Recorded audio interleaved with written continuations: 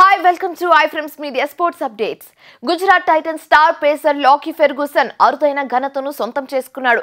IPL twenty twenty two సీజన్లో భాగంగా రాజస్థాన్ రాయల్స్తో జరుగుతున్న ఫైనల్ మ్యాచ్లో అత్యంత వేగవంతమైన బంతిని సంధించాడు.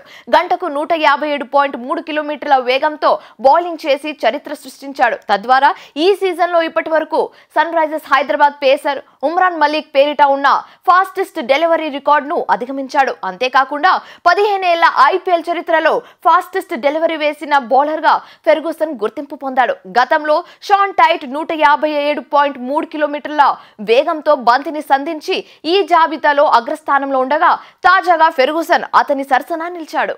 ఇక ఉమ్రాన్ మలిక్ ఈ సీజన్లో నూట యాభై ఏడు కిలోమీటర్ల వేగంతో బౌలింగ్ చేసిన విషయం తెలిసిందే.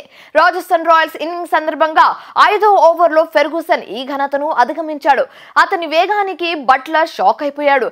ఇక టాస్ గెలిచి బ్యాటింగ్కు దిగిన రాజస్థాన్ రాయల్స్ అరవై పరుగులకు రెండు వికెట్లు కోల్పోయింది. క్రీస్లో జోస్ బట్లర్ దేవ్దత్ పడిక్కల్ ఉన్నారు. IPL twenty twenty two season ముగింపు వేడుకలు అంగరంగ వైభవంగా జరిగాయి. లక్ష ఇరవై ఐదు వేల మంది అభిమానులు హాజరైన మైదానంలో బాలీవుడ్ హీరో రణ్వీర్ సింగ్ మ్యూజిక్ దిగ్గజం ఏఆర్ రెహమాన్ తనదైన స్టైల్లో ఎంటర్టైన్ చేశారు.